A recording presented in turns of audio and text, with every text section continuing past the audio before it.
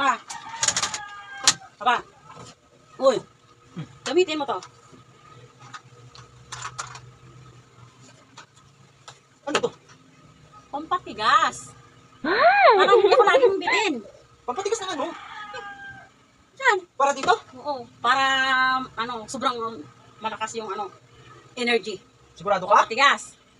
Oo. Gamitin mo yan ha. Tapos, pag-aantay ako doon. Sure mong gamitin mo yan ha. Kasi, lagi na lang ako nabibitin. Lagi na lang umpisa. Tapos, gano'n na. Mag-aantay ako doon ha.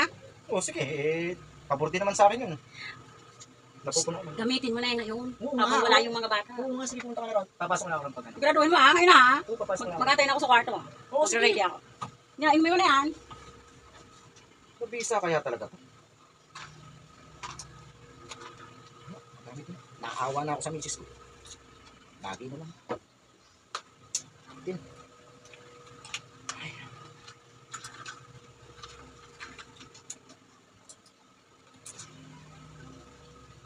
Paano kaya gamitin nga pala to?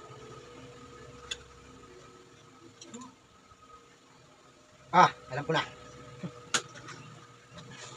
Sa wakas.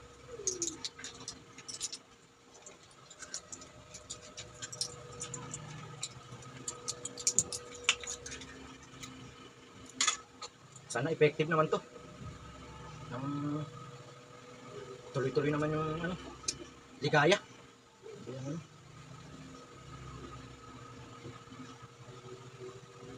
Yan.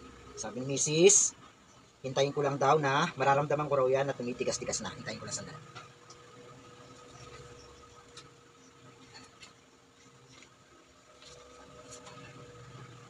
Parang wala naman nangyayari. Nilagay ko naman, tama naman, oh. Andun. Mama! Oh. Mama! Piki, siguro yung nabili mo.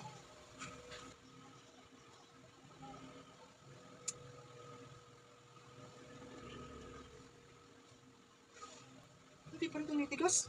Wala na yata talaga itong akin. Kahit ano yata gawin, wala nang pag-asa. Hindi na tumitigas, oh. Ayaw!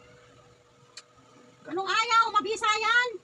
Eh, ayaw! Antayin mo lang. Ayaw nga kanina pa, oh. Ano ba naman? Eh? Antayin mo lang at ma- sobrang bisa niyan. Tinanong ko pa yan sa butika. Ay, alam ko na. Baka kulang. Dapat isa. Kulang siguro. Dalawahin ko na. Baka talagang tigas na tigas.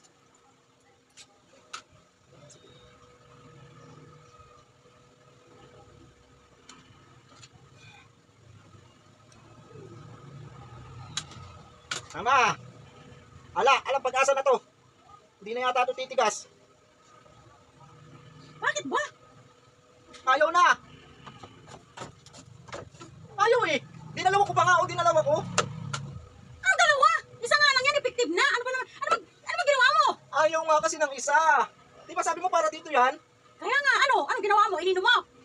Anong ininom? Hindi ah! Inilagay ko lang dito para tumigas. Iinumin ba kasi yun? Bakit? Iniinom yan, hindi yung dinidikit dyan. Ano, Ay, mighty van. Hindi talaga yan titigas. Akala ko yung didikit lang dito. Ay, ewan. Napaka. Sorry. Hindi na nga kumakayo. Oh. Mahina